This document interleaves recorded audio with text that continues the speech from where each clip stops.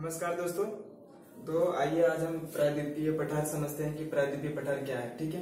पिछले लेक्चर्स में मैंने हिमालय ओवर कर दिया ठीक है? फिर भी हिमालय के ऊपर एक बार और बात आगे चल के करेंगे ठीक है? लेक्चर स्टार्ट करने से पहले मैं आप लोगों को एक चीज़ बता देना चाहता हूँ। ये Oxford student atlas for India ठीक है? इसको आप लोग अगर खरीद सकते हो तो बहुत अच्छी बात है क्योंकि इसको खरीद ही लीजिए क्योंकि इसमें आप देखोगे तो आपको इसमें सारे मैप्स दिए होते हैं ठीक है हाँ, यहाँ पे आप देखोगे, ये देखो, आपको वर्ल्ड मैप दिया हुआ है।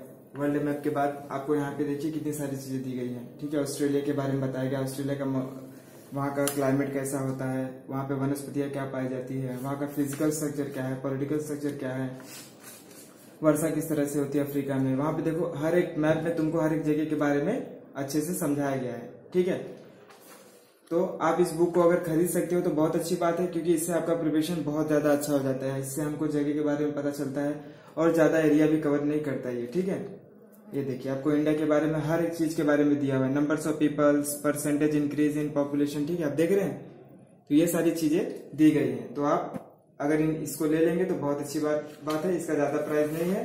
प्राइस भी इसका बहुत ज़्यादा कम है, ठीक है? चलिए। तो देख लीजिए यहाँ का टू सेवेंटी फाइव रुपीज़ का है ये। ठीक है? चलिए स्टार्ट करते हैं। तो आज का जो हमारा टॉपिक है वो है प्रायद्वीपीय पठार।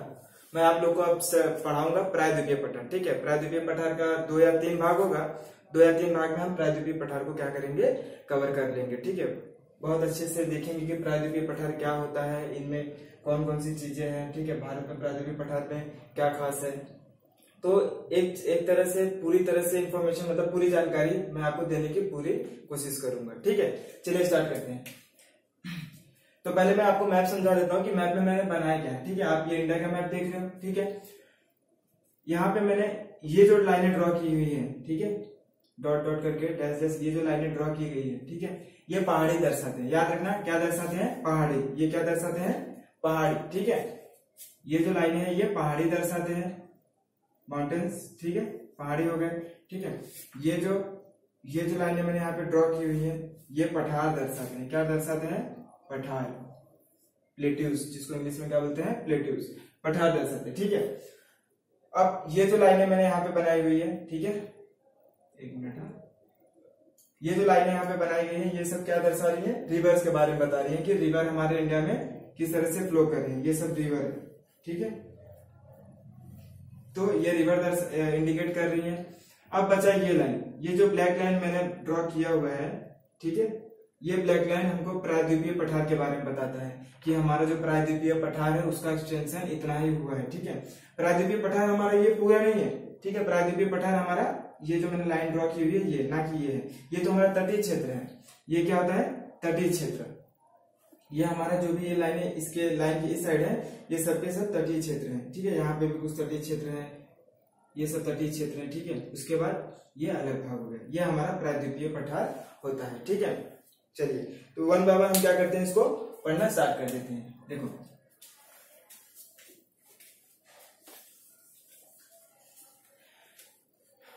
तो ये पहले मैं सबका नाम बता देता हूँ, ठीक है? आप लोग अभी नोट नहीं करना, अभी कुछ भी लिखना नहीं है, पहले समझिए। समझना ज़्यादा इंपॉर्टेंट ठीक है? पहले समझ लेते हैं, उसके बाद हम, मैं लिखवाऊँगा। जब मैं बोलूँगा अब नोट कीजिए तो आप नोट करना स्टार्ट करते हैं। आप यहाँ पे ये देख रहे हैं ये है अरावली, क्या है?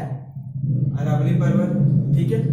ये मालवा का पठार, ये क्या है? मालवा का पठार। विंध्य पर्वत, ये क्या है? विंध्य पर्वत है। ये सतपुड़ा पर्वत है, ये नीचे वाला इसके। सतपुड़ा पर्वत है, ठीक है? छोटा नागपुर का पठार है यह राजमहल की पहाड़ी है, ठीक है? यहाँ पे कहीं आप देखोगे तो आपको दखन का पठार दिखेगा। यहाँ पे कहाँ पे? यहीं पे बीच में दखन का पठार है, वो अगले भाग में हम उसको पढ़ेंगे, ठीक है? अब ये क्या इंडिकेट कर रहा है? मैंने आपको कल इसका नाम बताया था, ये पूरा क्या है? शिलोंग का पठार। कौन सा पठार है? शिलोंग शिलोंग का पठार, या इसको मेघालय का पठार भी बोल सकते हैं, ठीक है? इसमें तीन मैंने नाम बताया था आपको, गारो खासी जयंतिया, ठीक है? तो ये मैंने बात करनी किसकी? हमारे इंडिया में प्राथमिक पठार में जो सारी चीज़ें हैं, ठीक है? यहाँ पे आप ये देखोगे, ठीक है? ये मैंने यहाँ पे ड्रॉ की हुई है, और ये छोटी छोटी पहाड़ियाँ ये कार्डेमम है, ठीक है? कार्डेमम जिसको इलायची पहाड़ी भी बोलते हैं कार्डेमम ठीक है? अभी बताऊँगा, अब फिर उसके बाद एक्सप्लेन अच्छे से करेंगे। पहले समझ लेते हैं। कांडवम है, ठीक है? ये अन्नामलाई है, अन्नामलाई पहाड़ी करके है, ठीक है? अन्नामलाई पहाड़ी। और ये हमारा पश्चिमी घाट है। और ये क्या है हमारा? पूर्वी घाट है। ठीक है तो आप इतना समझ गए रहेंगे आपको ये सीरीज़ में याद करना है, ठीक है? ये अरावली पर्वत, मालवा का पठार, विंध्य विंध्य पर्वत, सतपुड़ा पर, सतपुड़ा का सतपुड़ा पर्वत, ठीक है? तो आपको ये एक सीरीज़ में याद करना क्योंकि एग्ज़ाम में सीरीज़ लगाने के लिए भी पूछ सकता है, ठीक है? चार ऐसे ऑप्शन दे देगा और बोलेगा कि इनको क्रमशः लगाइए, ठीक है? ऊपर से नीचे लगाइए या नीचे से ऊपर, ठीक है? तो इस तरह के क्वेश्चन हमको पूछ सकते हैं, ठीक है? चलिए अब एक्सप्लेन करते हैं। अब आ जाते हैं प्राद्वीपीय पठार के बारे में। तो आपने ये देख लिया कि हमारा ये भाग है प्राद्वीपीय पठार ठीक है? इसके पहले मैंने आप लोगों को बताया था कि जो भी हमारे कॉन्टिनेंटल हैं, सात महाद्वीप हैं, ठीक है? आपस में पहले क्या थे ये? एक थे, ठीक है? सातों महाद्वीप क्या थे? एक थे। सातों महाद्वीप को अगर आप मैप में देखोगे तो इनको आप क्या कर सकते हो? जोड़ सकते हो, ठीक है? ये एक साथ जुड़ सकते हैं। और जब ये जुड़ते हैं तो इनका पहले एक नाम था। इनका नाम था पेंजिया क्या नाम था इनका? पेंजिया ठीक है? पेंजिया बहुत साल लाखों सालों के बाद पेंजिया का विघटन हो जाता है। पेंजिया का क्या हो जाता है? विघटन हो जाता है और वो दो पार्ट में डिवाइड हो जाता है। कितने भाग में बढ़ जाता है? दो भाग में डिवाइड हो जाता है। ठीक है। देखो ये पूरा ऐसा पेंजिया था ठीक है? पेंजिया का क्या हो गया? विभाजन हो गया ठीक है? पेंजिया का जब विभाजन हुआ तो पेंजिया का दो भाग में विभाजन हो गया। पहला जो भाग था ऊपर का वो उत्तरी की तरफ़ जाने लगा और ये दक्षिण की तरफ़ आने लगा। ठीक है? इसका नाम हो गया गोंडवाना और इसका नाम हो गया अंगोरा। ठीक है? इसका नाम क्या हो गया? गोंडवाना। गोंडवाना और इसका नाम क्या हो गया? अंगारा। ठीक है? ये अंगारा हो गया और ये क्या हो गया? गोंडवाना। जो गोंडवाना है, ठीक है? वो नीचे की तरफ़ सरकने लगा और ये ऊपर की तरफ़ सरकने लगा। और जो ये ऊपर की तरफ़ सरका तो उत्तरी अमेरिका, तुम्हारा यूरोप, ग्रीनलैंड ये सब फॉर्म हो गए। और जो हमारे ये नीचे की तरफ़ आया, इससे हमारा दक्षिणी अमेरिका, आप मैप में अगर देखेंगे तो आपको दक्षिण अमेरिका, अफ्रीका, इंडिया, ऑस्ट्रेलिया दिखेगा। तो हमारा जो गोंडवाना था, वो नीचे की तरफ़ सरका और ये फॉर्म हो गए। ठीक है? तो पहले इंडिया किसका भाग था? अफ्रीका का भाग था। अफ्रीका का अगर तुम मैप आप मैप देखोगे, आप लोग मैप देखोगे अफ्रीका का तो आपको यहाँ पे वो सटा हुआ दिखाई देगा। ठीक है? सॉरी यहाँ पे पहले था वो। ठीक है? उसके बाद वो वहाँ से पूर्व उत्तर की तरफ़ मूव होने लगा, ठीक है? उत्तरी पूर्व की तरफ़ मूव होने लगा और आगे यूरेशियन प्लेट से टकरा गया। जब यूरेशियन प्लेट से टकराया, जब वो ऐसे मूव किया और यूरेशियन प्लेट से जब वो टकराया, तब किसका फॉर्म होता है? हिमालयस का फॉर्म होता है, ठीक है? चार हिमालयस के फॉर्म मैंने आपको बताए थे, मुझे नीचे कमेंट करिए कि चार हिमालयस के नाम क्या थे। हिमालय किन पार्टों में डिवाइड है, ठीक है? मैं बता देता हूँ, यहाँ पे ट्रांस हिमालय था, उसके बाद था आप मुझे बताओगे, ठीक है? तो ये फॉर्म हो गए हिमालय पूरे, ठीक है? बट अगर हम ध्यान देंगे तो पहले हमारे पास ये पूरा भाग नहीं था। जब ये अफ्रीका से जुड़ा हुआ था, तब ये हमारे पास भाग था क्या? नहीं था। ये किसका भाग था? अफ्रीका का। ये भी हमारे पास नहीं था। खाली हमारे पास इतना था। तो ये जब अफ्रीका में था, तभी ये प्रादीपीय पठार, ये सारी चीज़ें फॉर्म हो चुकी थी। लगभग इसमें से कई सारी चीज़ें प्राचीन है। मतलब जो हमारा इंडिया यूरेशियन प्लेट में नहीं था, अफ्रीका प्लेट से जुड़ा हुआ था तभी ये सब फॉर्म हो चुकी थी। ठीक है? इसलिए प्रादीपीय पठार किसका भाग है? गोंडवाना लैंड का। किसका? गोंडवाना लैंड का भाग है, ना कि ये। ठीक है? ये यूरेशियन प्लेट का भाग है। ये किसका भाग है? गोंडवाना लैंड का। हमारा प्रायद्वीपीय पठार गोंडवाना लैंड का भाग है। ठीक है? ये यूरेशियन प्लेट का भाग है। जब आके ये यूरेशियन से टकराया, तब जाके हमारा पूरा इंडिया फॉर्म होता है। ठीक है? बृहद हिमालय आप देखे थे कि यहाँ से, ऐसे जाके यहाँ से फोल्ड हो जाता है। ठीक है? फोल्ड माउंटेन जब ऐसा प्रेशर पड़ा ठीक है? तब वो फॉर्म होता है। ठीक है? आइए इसको थोड़ा डायग्राम के ज़रिए थोड़ा समझते हैं तो ज़्यादा आसान हो जाएगा। ठीक है? देखो। मैंने जो डायग्राम बनाया है हॉरिजॉन्टली इसको आप वर्टिकली देखिए। ठीक है? वर्टिकली देखिए। तो आप अगर ध्यान से देखोगे तो ये साउथ साइड है। साउथ कौन सा है? ये है। तो साउथ साइड अच्छा एक मिनट पहले पठार समझ लेते पठार क्या होता है? प्लेट्यूज क्या होते हैं? प्लेट्यूज प्लेट्यूज ये होते। देखो आपने हिमालय में देखे थे मैंने आपको बताया था उस दिन। नोट्स कर नोट करने के लिए बोला था कि हिमालय के जो पहाड़ियाँ हैं जो माउंटेन्स है उनकी 6000 से अधिक ऊंचाई होती है। ठीक है? और हमारे उसके बाद लघु हिमालय की भी ऊंचाई कम होती है। फिर उसके शिवालिंग की लंबाई भी क्या होती है? बहुत ज़्यादा कम हो जाती है। पठार का मतलब होता है कि अप्रोक्सीमेट देखो कोई ज़मीन से क्या हो वो, वो पहाड़ क्या हो ज़मीन से उठा हो। ठीक है? ज़मीन से उठा हो कितना? 300 मीटर अप्रोक्सीमेट 300 मीटर। 300 मीटर तक उठा उठाओ 300 और 200 मतलब अप्रोक्सीमेट 300 मीटर तक तो होना चाहिए। और उसके बाद ऊपर से क्या होना चाहिए वो? समतल होना चाहिए और फिर ऐसा होना चाहिए। तो ऊपर अगर समतल है 300 मीटर की ऊंचाई है तो इसको क्या बोलते हैं? पठार। क्या बोलते हैं? पठार। ये होता है हमारा पठार। ठीक है? ठीक। तो ये आप समझ लेते हैं। तो अभी ये क्या किया? देखो, ये साउथ पार्ट है हमारा, ये साउथ पार्ट है। अब ये ऊपर से उठा हुआ है, ठीक है? ये क्या ऊपर से? उठा हुआ है, ठीक है? ये ऐसे आया और फिर ये ऊपर की तरफ़ ऐसे उठा है और फिर ये नीचे की तरफ़ गया। नीचे की तरफ़ और फिर ये हमारा हो जाता है शिवालिंग। ये हमारा लघु हिमालय और ये हमारा बृहद हिमालय ठीक है? ये हमारा क्या हो जाता है? बृहद हिमालय ये लघु और ये शिवालिक हिमालय ठीक है, ये बृहद हिमालय हो गया, ये लघु हिमालय हो गया, और फिर ये शिवालिक का हिमालय हो गया। ये जो मैदान है, ये प्लेन मैदान है, ठीक है? ये जो मैदान है, ये नीचे की तरफ़ धस गया। नीचे की तरफ़ क्या हो जाता है? धस जाता है। और उसके बाद ये प्लेट्यूज आते हैं, यहाँ पे। ये समतल मैदान है, हमारा लघु हिमालय और हमारा ये पठार। ये पठार और ये हमारा शिवालिंग का पठार। इन दोनों के बीच का जो ज़मीन है, जहाँ पे गंगा रिवर और यमुना रिवर फ्लो करती है, वो ज़मीन बहुत समतल है। समतल क्यों है। पहले उसमें बहुत गैप था। वो नीचे की तरफ़ क्या हो चुका था? धस चुका था। इस तरह से। नीचे की तरफ़ क्या था? धस चुका था। बट अब वो समतल है। कैसे समतल है? बता दो देखो। तो ये हो गया शिवालिक और ये हो गया हमारा समतल मैदान। ठीक है? उत्तर का समतल मैदान। फिर ये आते हैं पठार। ये आया पठार पूरा, ठीक है? और यहाँ से ये नीचे की तरफ़, ऐसे। ठीक है? तटीय क्षेत्र। हमारा ये तटीय क्षेत्र ये हमारा तटीय क्षेत्र। ठीक है?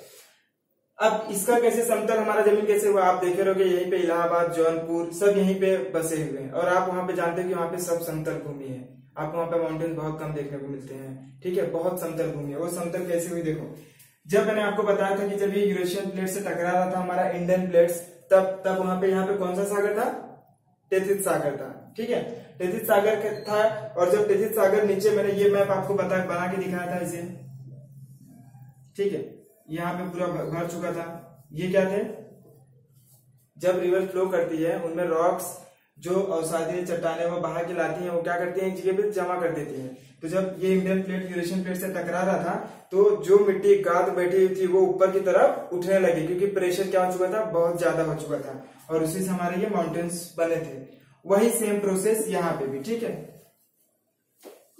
वही सेम प्रोसेस कहाँ पे भी, यहाँ पे भी, कैसे हुआ देखो टेथित सागर जो भी अपने साथ यहाँ पे यहाँ पे टेथित सागर हुआ था, ठीक है? यहाँ से टकराया, ये तो माउंटेन यूरेशन से टकराया गया बट उसका जो मालदा था मतलब मटेरियल था, वो यहाँ पे आके सब बैठ जाता है, ठीक है? उसके बाद उसने क्या किया, इसको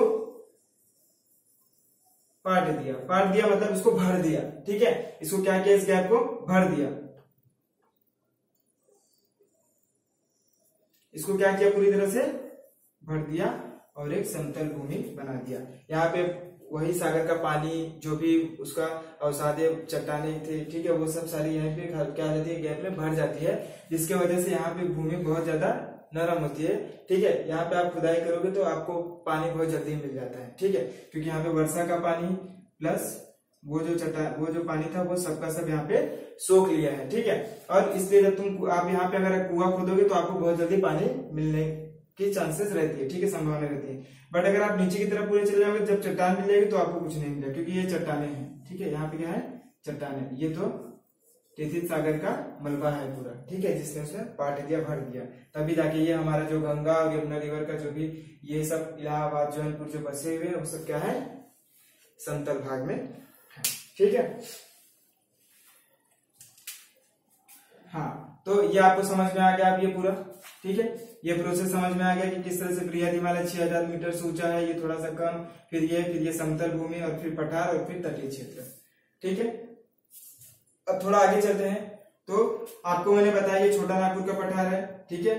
ये नीलगिरी की पहाड़ी है। इसका नाम याद रखना, आप क्या है ये? नीलगिरी की पहाड़ी है। अगर आपसे पूछा था कि भारत का सबसे दक्षिणीय पहाड़ी कौन सा है, ठीक है? तो वो कौन सा होगा? इलायची पहाड़ी, जिसको कार्डेमम पहाड़ी बोलते हैं, ठीक है? कार्डेमम या इलायची पानी, इसके दो नाम है, कार्डेमम या इलायची। ठीक है? आप उसको लिख लीजिएगा नोट्स में। ठीक है? तो ये हो गई बात कहाँ तक? समझने के लिए। ठीक है? यहाँ तक आपको लगभग मेरे ख्याल से समझा दिया गया है।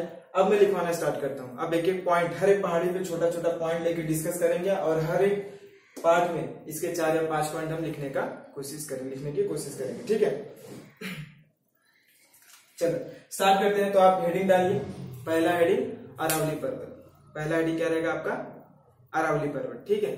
चलिए, पहला हेडिंग डालिए अरावली पर्वत। अरावली पर्वत कहाँ पे है? यहाँ पे। ठीक है, चलिए। तो आपने हेडिंग डाल दिया अरावली पर्वत। पहला पॉइंट लिखिए अरावली का विस्तार, ठीक है? अरावली का विस्तार गुजरात से लेके कहाँ तक है? दिल्ली तक। गुजरात से लेके दिल्ली तक। गुजरात से स्टार्ट है। यहाँ मैप में तो आपको नहीं दिखेगा, क्योंकि दिल्ली यहाँ पे है। ठीक है बट दिख रहा है यहाँ पे। तो आप समझ लीजिए, आप मैप में देखोगे तो आपको समझेगा। इसीलिए बोला आप मैप खरीद लीजिए ठीक है? जिस तरह से मैं यहाँ पे पढ़ाता हूँ, अगर आप अपने सामने मैप रखोगे तो आपको आसानी होगी चीज़ों को समझने में, ठीक है? तो गुजरात से लेके कहा तक है? दिल्ली तक इसकी स्थिति है, ठीक है? तो इसकी लंबाई कहा, कौन सा डायरेक्शन में जा रही है? तो ये कौन सा डायरेक्शन है? उत्तर की तरफ़, ठीक है? तो यहाँ से ये उत्तर की तरफ़ दिल्ली तक एक्सटेंड है। दूसरा पॉइंट लिखिए अधिकतम लंबाई इसकी अधिकतम लंबाई 800 मीटर है। 800 किलोमीटर, कितना? 800 किलोमीटर। 800 किलोमीटर की लंबाई है गुजरात से लेकर दिल्ली तक और इसकी अधिकतर लंबाई जो है वो राजस्थान में है। कहाँ पे है? राजस्थान में अधिकतर लंबाई इसकी कहाँ है? राजस्थान में ठीक है? राजस्थान में इस पहाड़ी को बोलते हैं जार्ग। क्या बोलते हैं? राजस्थान में इस पहाड़ी को क्या बोलते हैं? जार्ग। ठीक है, आपको ये समझ गया रहेगा, मैं इसको रफ कर देता हूँ पहले। इसको क्या बोलते हैं, राजस्थान में अरावली पर्वत को? जार्ग लिख लीजिए आप लोग, ठीक है? इसका नाम क्या है? अरौली का राजस्थान में जार्ग बट दिल्ली में इसको अलग नाम से बोला जाता है। दिल्ली में इसको क्या बोला जाता है? रिज। क्या बोला जाता है?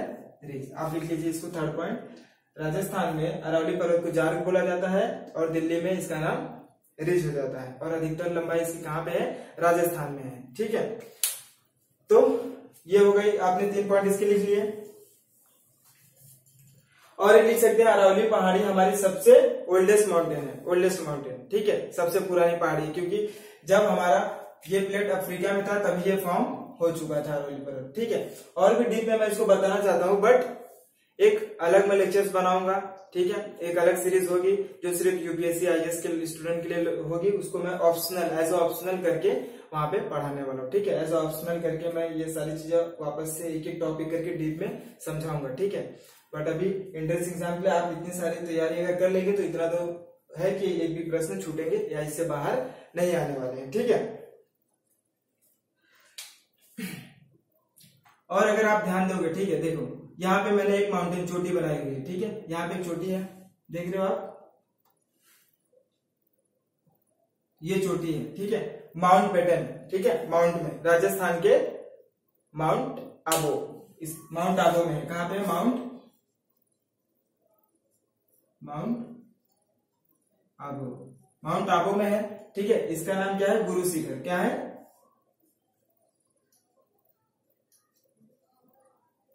क्या है? गुरु शिखर। लिख लीजिए आप लोग, ठीक है? तो ये हो गया आपके पाँच पॉइंट, ठीक है? गुरु शिखर नाम है। और कहाँ पे राजस्थान के?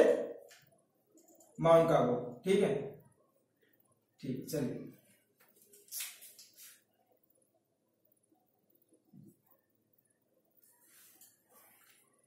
अगला हेडिंग डालिए, ठीक है?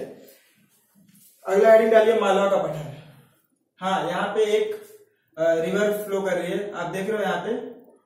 गुरु शिखर से एक रिवर निकलती है।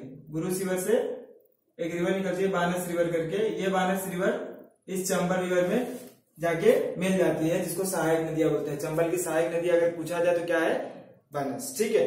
तो ये रिवर कहा जाके मिल जाती है? चंबल में। ये रिवर चंबल है और ये सिंध है, ठीक है? चंबल, सिंध, बेतवा, केन। ये चार यमुना की सहायक नदियाँ हैं और यमुना किसकी सहायक नदियाँ हैं? गंगा की। और ये सोन रिवर है। ये सोन रिवर किसकी सहायक नदियाँ है? गंगा की। याद रखना, सोन रिवर ना कि यमुना की सहायक नदी है किसकी सहायक नदियाँ है? गंगा की सहायक नदियाँ है। ये सारे पॉइंट्स आपको ध्यान में रखने होंगे, ठीक है? चलिए, आगे चलते हैं।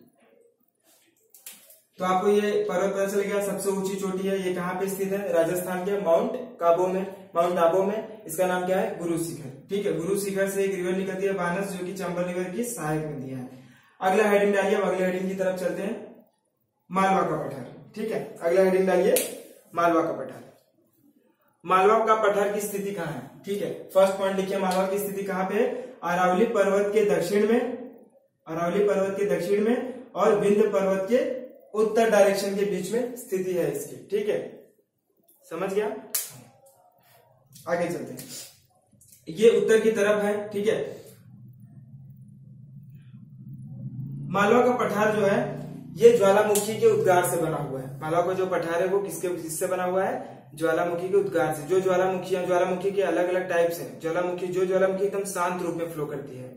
मतलब अगर वो फ्लो कर रही है तो बहुत धीमी गति से अपने जो बेसाल चट्टाने होती है, जो अगर लावा जो निकलता है, जब ज्वालामुखी फूटता है, जो लावा एकदम शांत में निकले और कहीं एरिया में जाके अगर बस जाए या सूख जाए, ठीक है, जम जाए तो उसको बेसाल चट्टाने बोलते हैं। और ये उसी से बना हुआ है। ये शांत लावा से बना हुआ है। जब शांत लावा फटता है तो उससे निकलने वाला लावा किसी ज़मीन पे जाके बस जाता है या सूख जाता है तो उसको बोलते जम जाता है तो वो बेसाल चट्टाने कहलाती है, ठीक है? तो ये जो मालवा का पठार है पूरा ज्वालामुखी के उद्गार से बना हुआ है, बेसाल चट्टाने इसको काली मिट्टी बोलते हैं। वो बेसाल चट्टाने काली मिट्टी होती है। ठीक है? मालवा का पठार में पूरी काली मिट्टी भरी हुई है। और ये काली मिट्टी कपास के लिए बहुत ज़्यादा अच्छी होती है। मैं पढ़ाऊँगा ये सब सारी चीज़ें जब मिट्टी मैं पढ़ाऊँगा, ठीक है?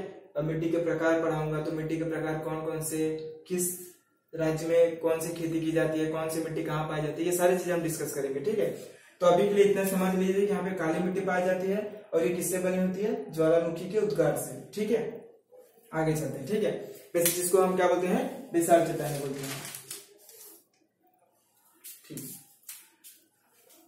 मालव का पठार, यहाँ पे आप देख रहे हैं चंबल रिवर चंबल रिवर की सहायक नदियाँ ठीक है? अब ये चंबल सिंध बेतवा, ये सिंध है, यहाँ से बेतवा निकलती है। बट अभी हम दो रिवर पढ़ते हैं, चंबल और सिंध। ये जो चंबल और सिंध रिवर में अलग से पढ़ाऊँगा, आपको टेंशन लेने की ज़रूरत नहीं है।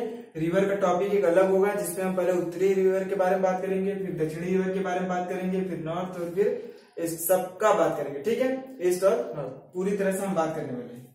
तो आप अभी यहाँ पे ध्यान दीजिए कि ये जो चंबल है और सिंध रिवर एक इसकी सहायक नदी है? यमुना की।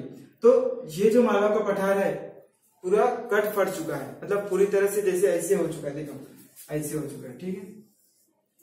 क्योंकि इसमें क्या होता है कि रिवर्स क्या कर रही है फ्लो करते करते उस ज़मीन को, उस पठार को क्या कर रही है, नीचे की तरफ़ ढाल दे रही है और वो नीचे की तरफ़ दबते चले जा रहे हैं, ठीक है? जिसकी वजह से यहाँ पे इस तरह के गैप बन जा रहे हैं, ठीक है? और बहुत तल छठी मतलब बहुत ज़्यादा तितर बितर हो चुका है, ठीक है? वो माउंटेन पूरा जो पूरा का पूरा पठार है, यहाँ पे मैंने दो ही रिवर दिखा हुआ है बट यहाँ पे बहुत सारी छोटी छोटी रिवर भी फ्लो करती हैं, जो कि पूरे मालवा पठार को क्या कर चुकी हैं तल छठी कट छट चुकी है मतलब उसको डिवाइड कर चुकी है, ठीक है?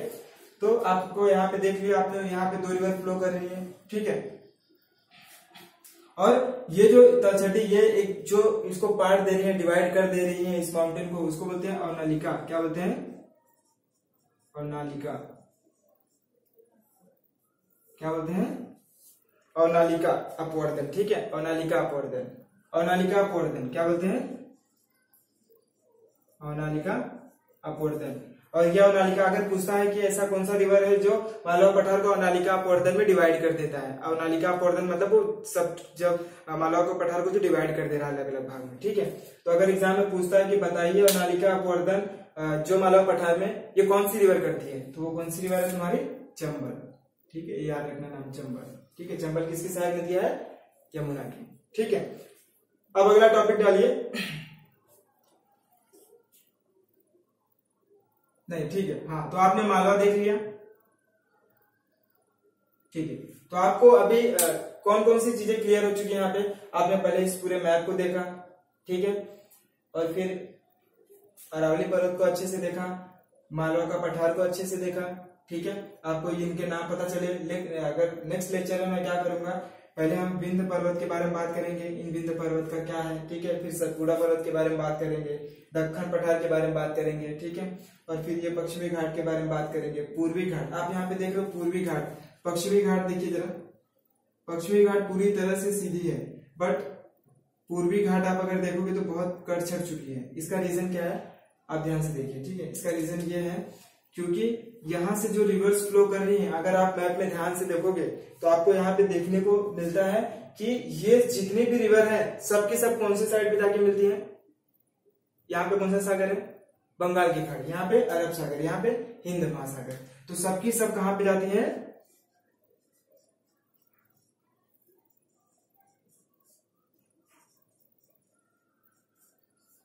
बंगाल की खाड़ी में, ठीक है?